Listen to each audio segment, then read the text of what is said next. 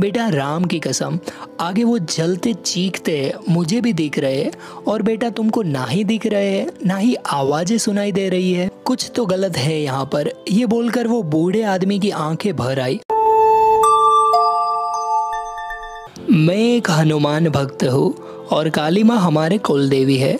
सौभाग्य से दोनों का आशीर्वाद मेरे पर है। मैं हर शनिवार रात को 108 हनुमान चालीसा का पाठ करता हूँ और प्रतिदिन महाकाली चालीसा पढ़ता हूँ। एक रात की बात है, जब मैं करीब एक से डेढ़ बजे के बीच में अपना काम ख़त्म करके किसी गाँव से लौट रहा था। वहाँ से हमारा शहर करीब 22 या 24 किलोमीटर है। मैं अपनी बुलेट बाइक पर था। करीब पंद्रह किलोमीटर चलने के बाद मैंने देखा कि आगे दो गाड़ियाँ रुकी हुई है और बाइक निकलने की जगह भी नहीं थी, जैसा कि पहाड़ों पर होता है। बहुत जगह पर तो वैसा ही था। अब जगह न मिलने के कारण मुझे गुस्सा आने लगा। मैंने बाइक खड़ी करी और गाड़ी वाले के पास जाकर बोला, अबे, बहरा है क्या? सिर्फ़ तूने ही भरा है टैक्स? हम नहीं दे रहे क्या? ऐसा बोलते हुए मैंने उसकी विंडो को नॉक किया। तो अंदर का नज़ारा देखकर मुझे थोड़ा अजीब लगा। उस गाड़ी के अंदर एक पति पत्नी और पत्नी की गोद में एक करीब सात आठ महीने की बच्ची थी और वो महिला डर के मारे रोए जा रही थी। तो मुझे शक हुआ कि इस आदमी ने तो कहीं इसको नुकसान नहीं पहुँचाया। तो मैंने उसको बोला, अंदर की लाइट जला तब उसने अंदर की लाइट ऑन की। मैंने बोला, गाड़ी के बाहर की मेन लाइट भी जला। पर उसने मना कर दिया। फिर मैंने उस महिला को पूछा कि, मैडम, आप ठीक तो हो? कोई परेशानी है क्या? ये आपके पति है और क्या ये आपको कुछ नुकसान पहुंचाना चाह रहे हैं? तो ऐसे ही दो चार सवाल मैंने पूछ डाले। तो वो महिला ने रोते रोते आगे की तरफ़ इशारा किया। मैं समझ गया कि आगे जो गाड़ी है, उसके लोग शायद इनको परेशान कर रहे हैं।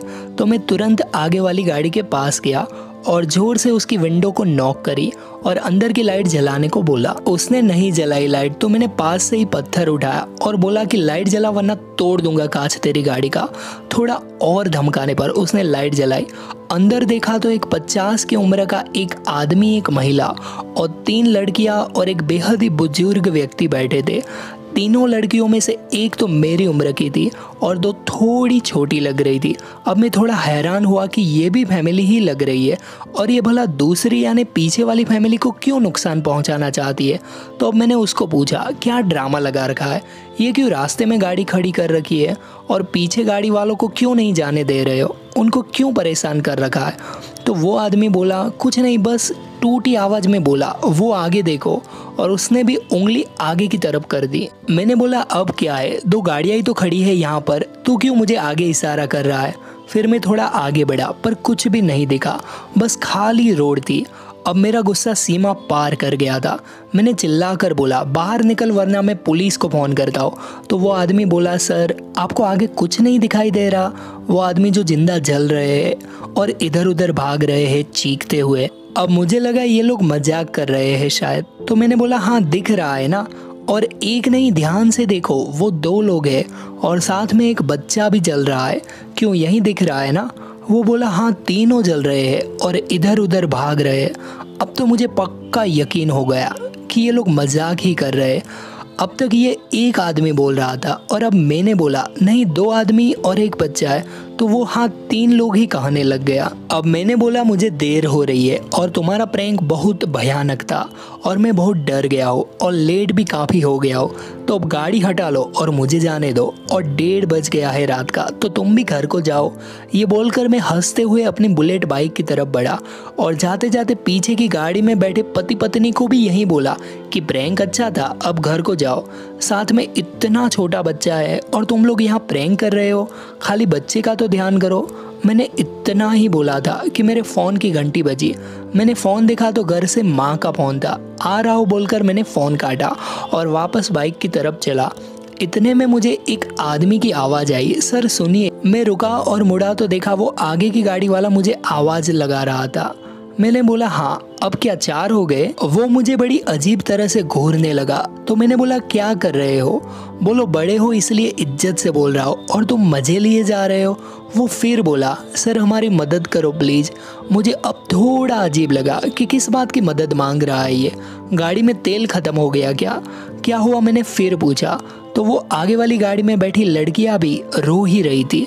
मैंने पूछा, ये बच्चों को क्या हुआ? ये क्यों रोने लग गए?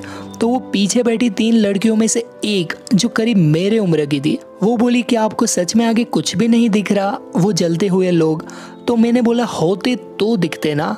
कोई है ही नहीं तो क्या दिखेगा? इस पर वो अंदर बैठे बुज़ुर्ग बोले, बेटा, राम की कसम, आगे वो जलते चीखते मुझे भी दिख रहे और बेटा तुमको ना ही दिख रहे ना ही आवाज़ें सुनाई दे रही है। कुछ तो गलत है यहाँ पर। ये बोलकर वो बूढ़े आदमी की आँखें भर आई। अब मुझे लगा कुछ तो गड़बड़ है। मैंने पूछा, कितनी दूरी पर दिख रहे तुमको वो लोग? वो बोले, वो सामने सौ मीटर भी नहीं है। तो मैंने बोला, मैं जा रहा हूँ, तुम बताना कहाँ पर है?